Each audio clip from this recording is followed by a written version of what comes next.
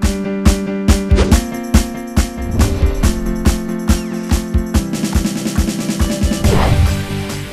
Welcome to a closer look with Mark and Mark. I am Miller. He is Shine, and Mark Shine. We are winding it down. The tournament draw is going to be It a week is. from Sunday. Yeah, the ladies draw this weekend. That's a big deal. A lot of games this week for them to prepare for that, and it's a big weekend for the boys between the games Friday, Friday and Saturday, and next Tuesday. Everybody wants to position themselves. Everybody wants to look good going into the tournament draw, and it's a good time to play well right now. All right, well, let's look at some review games. I get to start. Or no, you get to start. I you get the game that Yeah, we did. What a good Boy, one. the- What a good game we did. You know, we talk about games that are, are one half to one team, the other half to the other team. That was this game right here. Marion Local with a great first half. They uh, have a 30 point first half. Tyler Mesher, 6'2, 240. Couldn't guard him inside. Marion Local came in 3 0 in the MAC and won a four game win streak. And they're playing Fort Recovery. I thought Nathan Bruns played well for them at 6'6, 205. How about the big guys they have? And then Matt Reffman, really good defensively in the first half on Peyton Judy. Got a lot of help, but did very well defensively too. In the second half, though, Fort Recovery, the home team, comes alive and ends up with Peyton Judy ends up the game with 10. Derek Judy, Ryan Braun, Noah Lenhartz all have eight points apiece.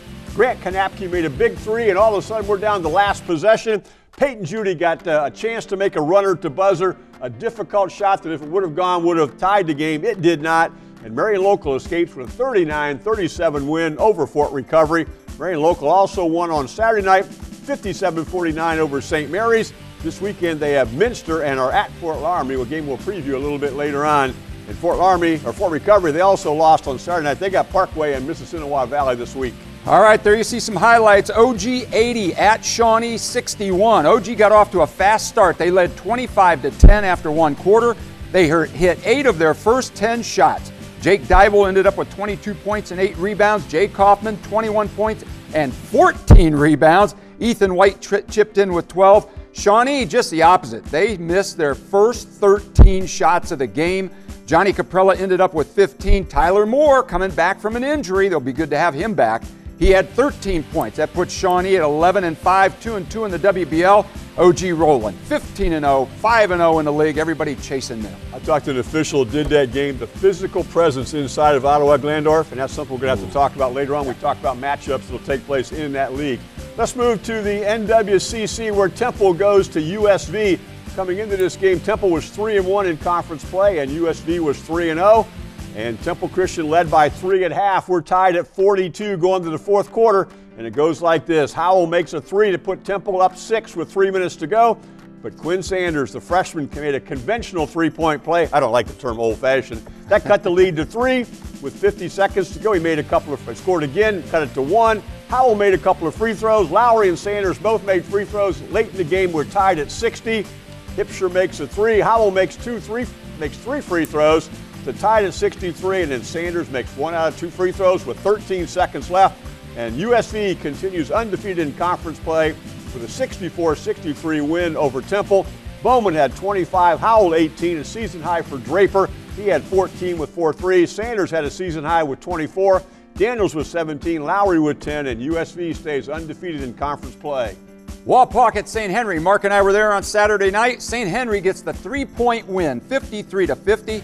St. Henry um, had a 15 to 5 fourth quarter as they came back from a deficit and ended up winning that thing for Wapak. Aaron Good had 20 points, including four threes, and Adam Scott 10 points and seven rebounds, and really dominated inside early on for St. Henry. Who else? Tyler Schlarmann, 27 points. He had three threes and seven rebounds, and he really just took this game over in the fourth quarter down the stretch. He was the difference. Wapak 11 and 5, St. Henry 14 and 2.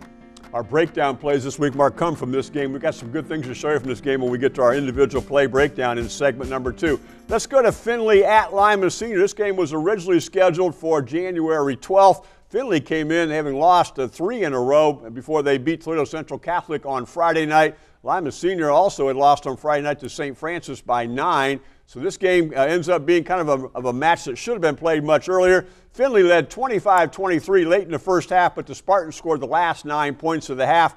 During that time period. Cologne made two free throws. Miller made a transition basket. Daniel got loose for a transition basket. And then Daniel also made three free throws with 11 seconds to go. And with that, the Spartans take a seven point lead. They score the first three points of the second half, and Finley spends the rest of the game trying to catch up. Jacob Logston makes a three with 11 and a half seconds to go, but that's as close as they could get as Jaleel King and Daniel each made a free throw late, and the Spartans win 68 63.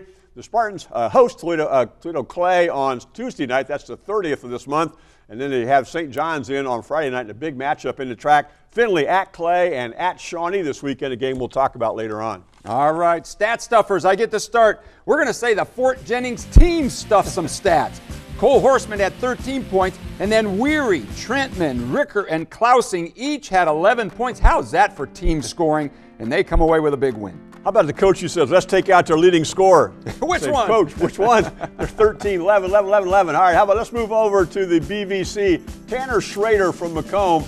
McComb's not had the best of years that they'd like to have, but Schrader had 19 with three three-point field goals in a 56-48 win over Liberty Benton. And on a, they had 15 with four threes on Saturday night in a eight-point loss to Patrick Henry. Versailles Tigers, they always got some guys stuffing some stats. This time, Justin Arns and Keaton McEldowney each had 24 uh, points. They beat Russia 71 to 51 last Saturday night. Okay, let's move over to Perry. Mark and I get to see Perry this weekend on Friday night. Logan Dre lit it up uh, on Friday night. He had 26 and six made three-point field goals. It's an 87-30 win over Hardin Northern on Friday night, and we get to see them this week against Ridgemont. Jaron Sharp from Kenton had 22 points, including two threes, and a loss to Van Wert 55 53 in overtime. What a good game that was. He had 25 points, including two more threes, in a win over Ada 42 to 21. And Mark, it's that time of year we're starting Yeah. to get some milestones. Yes, we we got a couple of good ones. You We do. This week, it's uh, we'll start with the ladies. This week from Leipsic, and that's Kierra Meyer scored her thousand point in a 52-42 win over Elida. She had 19 in that particular game and put her over a thousand for her career. Congratulations. Another guy going over a thousand points is Brandon Wehri from Fort Jennings in a 62-52 win over New Knoxville. He had 11 points and went over the thousand point mark. And Brody Bowman, who is a junior, and how about that? Junior going over a thousand points, but he scored his thousandth point in a 62-52 win, excuse me, uh, 75-64 win over Bradford. Then he came back on Saturday night with 37 and eight threes. 37 is a season high, and the third time this year Bowman has been over 30 points this year. Yeah, he's going to put some big numbers He's up He's going to put time some he's really done. big numbers up. Yes, he is. All right, rule of the week. Put your officials uniform on. Let's talk about fans and officials. Yeah, let's look at it from the official standpoint and fan behavior. And obviously, the OHSAA has done a lot with their respect the game idea. And by the way, as part of doing some research on this, Mark, the uh, National Federation of High School Athletics, uh, www.nfhslearn.com, has a video entitled The Role of Parents in Sports. And it's something that coaches, parents, fans, and players too should all take a look at. There's some really good stuff in it. Um, you want to take a look at that again, it's nfhslearn.com. But how about just the role of how the officials play and what their responsibility are when it comes to fans? Well, Rule 2, Section 8, Article 1 says the home team is responsible for spectator behavior. Not really a, a official's role in that particular thing. However, it does allow an official to assess a technical foul if spectator, or spectators plural, interfere with the proper conduct of the game. Remember a couple weeks ago, back before Christmas, we showed the uh, silent night over there at Taylor University, and they scored 10 points. All the fans rushed on the floor. Could have gave them a T because they interfered with the conduct of the sport. Remember a few years ago, we were throwing dust up in the air at Elida Fieldhouse, and it got in the, on the floor because it got up in the air system. Uh, years back, it was common. Okay, when we score our first basket, we're going to throw toilet paper on the floor. Those are types of things that could allow a spectator or spectators to be assessed a technical foul. But officials have been warned, hey, don't do that if you don't really have to because it interferes with the team and not really their fault that their spectators were out of line. So that really is something that they try to stay away from. Um, to stop the game, go to home management, ask them to take care of it. And because this question came up earlier, suppose you can't find the AD, suppose you can't find the principal or whoever's supposed to be in charge at that particular moment, the head coach of the home team is in charge of home game management. How about that? Also, Rule 1, Section 18 says no uh, music or sound effects when the ball is in play, only during pregame, timeouts, halftime, and postgame. no artificial noisemakers. And by the way, the OHSAA tournament rules also say uh, no signs or banners. Those are for tournament mm-hmm. games only. And in tournament games, you must wear a shirt. None of that. That's a good rule. You know, none of that putting a big S and K and I and whatever and on your shirt. Okay. You know, on your, your chest. Got to wear a shirt to an OHSAA. Football, you're allowed game. to do it because they yeah. like to see idiots do it when it's and, zero. And it's 12 below zero. Yeah. How about that? All right. Good job on the rule right. of the week. We I got a couple of good bright spots. We're going to start off with our good buddy Dave Froelich from uh, Van Wert, who used to do games with yeah. us, and you coached uh, against Dave. Yeah. There you guys are doing a game. Go ahead and talk about Dave's honor. Uh, we did that game earlier. This, this game was at Wapak this year, so Dave does a game with us occasionally when he can. But the honor is he's going to be inducted into the Basketball Coaches Hall of Fame. The ceremony will be this Friday night at Van Wert. The actual induction will take place on April 21st. Dave is a Van Wert High School graduate, played at Alma College. He's been coaching for 34 years with 420 wins. 21 of those were at Van Wert with 279 wins, 188 losses won eight sectional championships, won the district five times, and one of those guys who is really just a great guy to be around and knows high school basketball and college basketball, and it's a lot of fun to be around. Very knowledgeable. Congratulations, Dave, and we'll try to get some of the highlights next week. Very too. deserving. Very yes, deserving. Our other bright spot is when we were at Fort uh, Recovery on Friday, Mark and I got with Brent Niekamp, the football coach at Fort Recovery. We've always been interested in, in his career and the, the career of Fort Recovery football, right. not that old, and how they struggled and hung in there, and now they're reaping the benefits of that. And so we want you to take a look at this interview with Brent Niekamp, Fort Recovery's head football coach.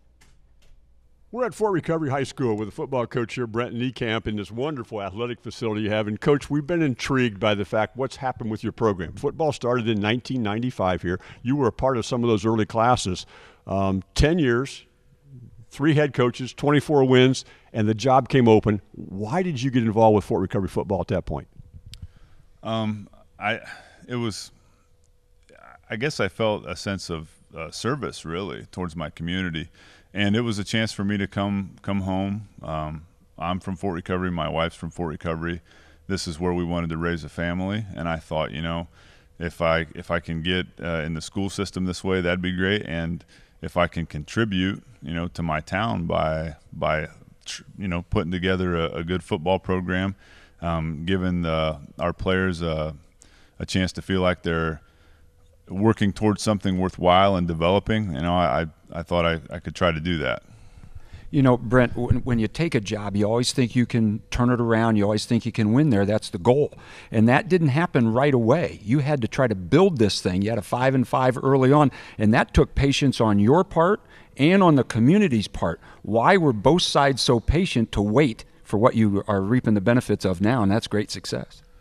Well, I, I I tell people a lot that um, when I took the job, I don't think there was people beating down the door, you know, and uh, so it, it may, maybe wasn't necessarily that I was this great candidate or anything like that, but I was willing to do it, and like you said, the community was willing to be patient. I was allowed to make mistakes and work through things and develop. Uh, I got to give a lot of credit to our administration and our school board over those years. Um, Barb Saltbein was our athletic director and then uh, now we got Kurt Ramel. They've been great to work with, and and all the principals I've worked with from Ed Snyder, Dave Worville, Jeff Hobbs, and Marcus Overman. They've all been very, very supportive, and I, I think that's really important. Okay, so coach, four years ago, you finally have your first winning season, and you make the playoffs, and everything's kind of vindicated. Had to make had to make you feel pretty good at that point. It, it did. It really did. Um, it, it made me feel good for all the guys who who played um, in those earlier seasons, um, kind of like a kind of like an assurance that they they were building something special. You know, that's what we we we talked about all the time, and and it kind kind of came to fruition. And so I, I just when you know when we had those seasons and had those games, uh, winning a state championship, looking into the stands and seeing all those guys that played for us over the years and you could just feel that that they were part of that too, and that was important. Was there a time? Um, maybe it was a season, maybe it was an off season, maybe it was uh, seeing some younger players at the lower grades that you thought we're going to get this thing done, we're going to get this thing turned, and we're going to be pretty good in a while. Did you sense that? You know what? I Not necessarily. I, I, you know, for me, it was more like a day to day, just go try to do the best you can, get better every day, and see what happens. You know, that's what we always tell, told our kids too. Um, looking back, I should have realized it, and I wasn't smart enough to, or whatever. But um, w- what I didn't realize is we went through a stretch there where we were winning all of our non-conference games and we weren't winning a lot of games in the league, but we were beating teams in our non-conference games that were making it into the postseason. Mm-hmm. And then we would finish three and seven or four on four and six, and it wouldn't look that you know spectacular. But once we were able to get over the hump and get into the postseason, then we you know. Then I kind of realized, oh, we were a lot closer than yeah. I even realized. Yeah. And I was telling the kids, yeah. we're closer than you think. Keep at it, you know. We were closer than I thought we were too.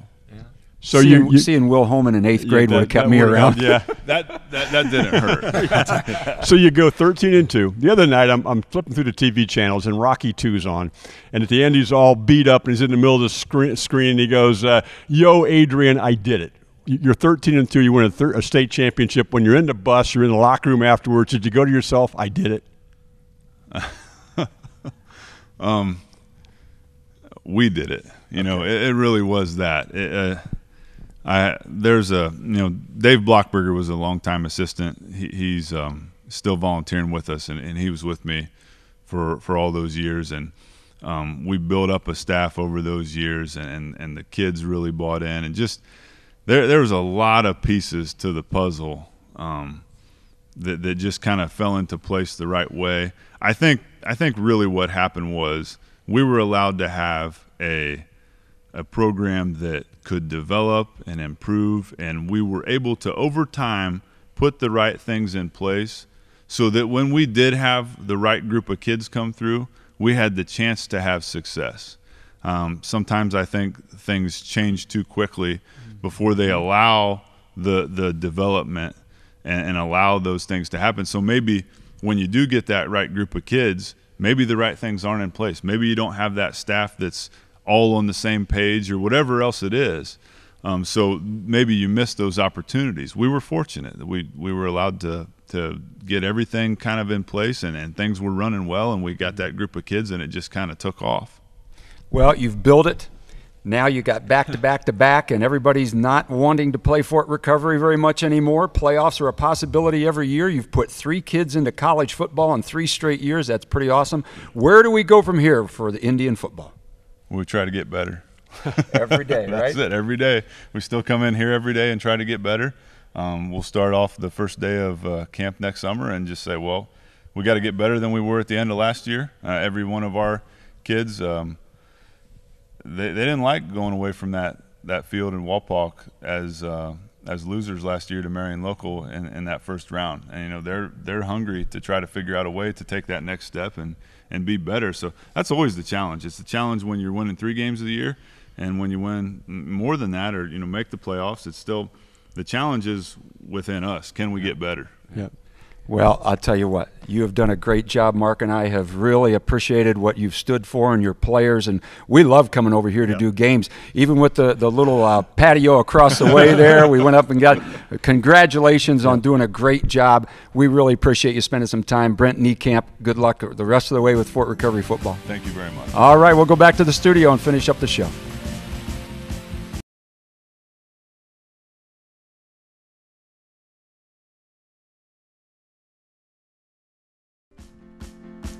We're at the big screen, and Coach Shine has some plays from the Wapak at St. Henry game. Yeah, we do. And the first play we're going to put up here is this really nice set that they run for Scott. He's going to be right out here with the basketball as we get this roll, and He starts the players, the flare screen to Copeland, screen, screen, dribble entry, and watch the drop step move.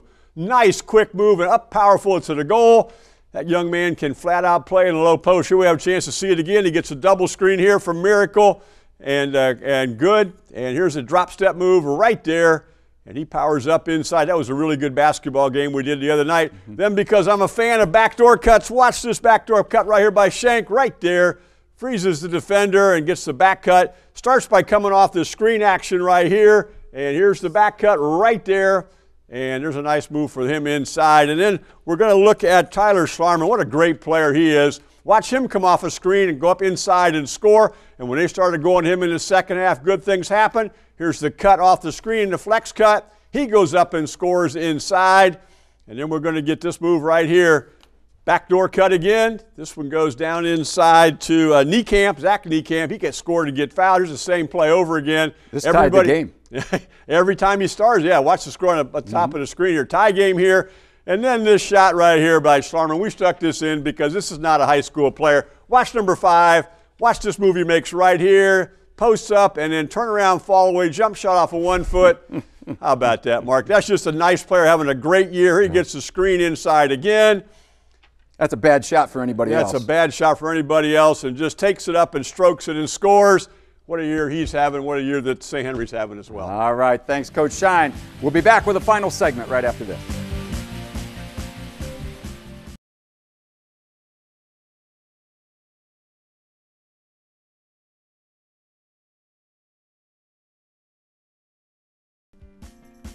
It is time to preview games that are coming up. We're going to do it a little bit differently this week. We're going to look at the by league and the leaders and what games they have left against the other top leaders. Mark, you start with the WBL. Yeah, we thought we'd look at uh, big games coming up in the month of February for all the leagues. Let's start with the Western Buckeye League. First of all, you can see Ottawa Glandorf, they're on top at 5 and 0.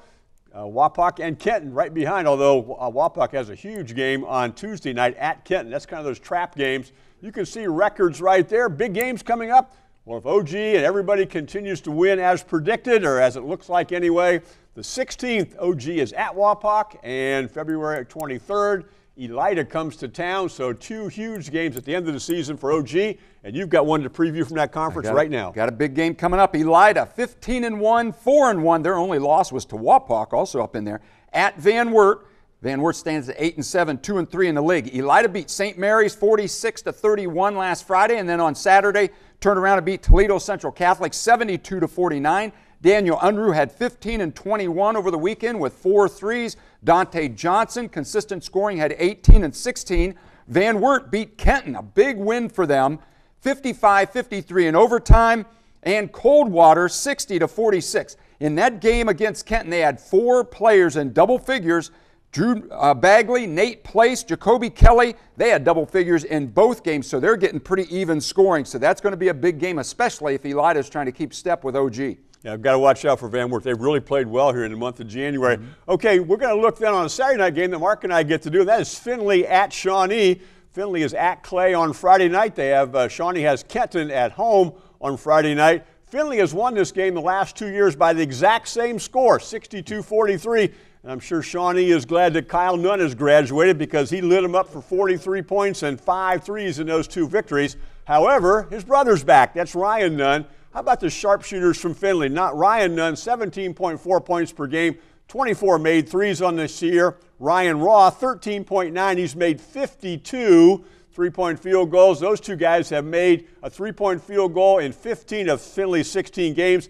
And Jacob Logston, who missed the first five games, averaging 11.3, and he's made 21.3s in the 10 games that he's played. Shawnee has lost three out of the last four going into that Kenton game. Johnny Capella at 16.4, including his 40 point game over Wayne Trace. Sheridan O'Neill at 12.8.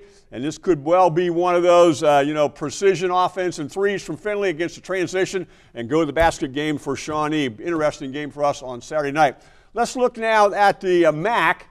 And uh, Mark, we're going to go through some of those games That's right, right now. Here you see the records up there. Versailles sitting up top at 5 and 0. Marion Local 4 and 0. St. Henry they are 4 and 1 after a big win last night over Minster and St. John's and Minster with a couple of losses. Versailles plays at St. Henry and at Marion Local, two huge games, both on the road. Marion Local has Minster yet, and that's the game we're going to highlight. Minster's 9 and 5, 3 and 2. They play at Marion Local this weekend, 11 and 3, 4 and 0. Minster lost to Versailles 61-41, but Isaac Schmiesing had averages 14 and a half points a game. He has 33 threes on the year, and then they lost last night to St. Henry 53 to 38. Marion Local beat Fort Recovery. We showed you that one by a point. And then St. Mary's 57 49. Tyler Meschers averaging just over 18 points a game. Nathan Bruns is 13 points a game and almost seven rebounds a game. Okay. Let's move into the NWC and what's going to happen in those particular games. And Mark, you've got an interesting game, I think, on Friday night, right? Sure do. Crestview, 12 and 3, 4 and 0 in the league at Paulding, 6 and 8 overall, but really good 4 and 1 in the league. They're right there in the hunt. Crestview beat LCC 67 39 and Celina 63 45. They have four players between 12 and 14 points, and they're really starting to play well right now. But Paulding kind of sneaks up on everybody. They beat Ada soundly 63 to 40, sitting there at 4 and 1. If they can get by Crestview, they're right there at the top, and they've already beaten the number one team in the league. Only Lincoln View sitting there at 4 0 behind them. Interesting game for Lincoln View also on Saturday night as they play Crestview. Again, Lincoln View 10 and 5, 4 0. Uh, they play Delphos St. John's, I'm sorry, on Saturday night. Six games uh, winning streak, and then a four game losing streak for Lincoln View, and then another four game winning streak. So it's kind of been a streaky year for them. During that four game losing streak, they gave up 68 and a half points a game. They're only giving up 51.6 on the season, so defense is the key. Clayton Overholt at 16.2, Caden Ringwald at 14.4, DSJ, uh, they're 9 and 5, 3 and 2. They've got three wins in overtime. They're a defensive basketball team. They give up just 46.4 points per game. Jared Wurst, Richard Kakuza, Connor Houlihan lead them in scoring. Let's take a look at the BVC real quick. PG sitting alone at the top, 6 and 0, but Hopewell 5 and 1, Van Buren 5 and 1, North Baltimore 4 and 1, but PG's already defeated Hopewell and North Baltimore. You can see there a couple of the key games down below. PG has to go to Van Buren, Hopewell at North Baltimore. And so there's a lot to be said about that, but a good game this weekend. Yeah, it's PG at Van Buren this weekend. Of course, the, the PG comes in. The Rockets, they're 12 and 1. They're 6 and 0 in conference play. Their only loss was a three point loss to USV way back on December 23rd. They uh, are second in the conference, averaging 54.7 points per game. Drew Johnson is second in the conference in, in scoring at 17.0. Cooper McCullough uh, has been double figures five times. Phillips has been three times. Breeze six times. So they got some balanced scoring. On the other side, um, the uh, Hope the uh, Van Buren team they only have a loss to Hopewell Loudon, 51-47. They score 53.6 points per game. They give up 49.7. Matthew Ayers is third in the conference at 16.5. Cade Stevenson averages 10 points a game. He averages 6.4 rebounds. Matthew Illitz leads the conference, shooting 64.4% from the field. Interesting game. Can somebody knock off PG and make it a race? And then we go to the PCL. The PCL. There you go. And we got a couple games in the PCL to talk about. And there we see that Pandora Gilboa on top again. But a couple big games, Mark, and you've got the first one. Kalida 12 and 2, 3 and 1 at Ottoville 13 and 4, 2 and 4. Kalida beat Leipsic 42-28. Luke Earhart had 13 points and Trevor Lambert 10. Ottoville lost to Fort Jennings 56-42. They were 4 of 30 on three-point shots. Tough to win when you do yeah. that. Nick Mormon's averaging 14 points a game, 7 rebounds, and Logan Kemper 13 points to lead those guys. The other big game is Miller City, 2 and 2 in conference play, and Fort Jennings, 3 and 1 in conference play. Miller City comes in averaging 62 points a game, giving up 54. We've talked about Mark Kuhlman this year, averaging 16.9. Noah Otto, kind of the sharpshooter, big three point shooter, averaging 14.7. Mitch Gable, 12.6. Lammers can shoot the three also. On the other side, Fort Jennings, we just talked about how balanced their scoring was earlier. They have scored at 55.3. They give up 47.4, and they have that loss to Kalida in there, so they got to keep things rolling do, in the, in the uh, PCL. Then let's kind of throw up some of the other conferences. We'll take a look at them. First of all, in the TRAC, St. John's is on top. They've got some key games coming up. In fact, they play five of their last six games on the road. And then we can jump over and take a look at games in the NWC where USV and Elgin are on top and they match up on the 9th of this month. That's an interesting game we'll preview next week. And then the Shelby County League, Fort Loramie, of course, state ranked right there. They're 7 and 1, but Anna also 7 and 1. And in February, we're going to have that game for you, Fort Loramie and Anna Russia. Six and one, also having a good year. And you can see down at the bottom, they're all going to beat each other up these last few weeks, and we'll see who comes out of that. Well, let's put up our broadcast schedule for the next uh, week or so. We've got a lot of good ones coming your way. Continental and Wayne Trace. Uh, Wednesday, then Friday, we hit the Defiance OG, PG and Van Buren. Mark talked about Crestview and Lincoln View, the war of the views over there. Saturday, Ridgemont and Perry. Mark and I call that one. Kalida Ottoville. You can see the games coming your way all the way through the weekend. We got some great ones. Sunday, Jackson Center and Fort Loramie, always a good game. Marion Local Fort Loramie, Kalida, Wayne Trace. Great games coming your way. We're glad you joined us. Come again next week. We'll update them and preview them. You've been watching a closer look with Mark and Mark.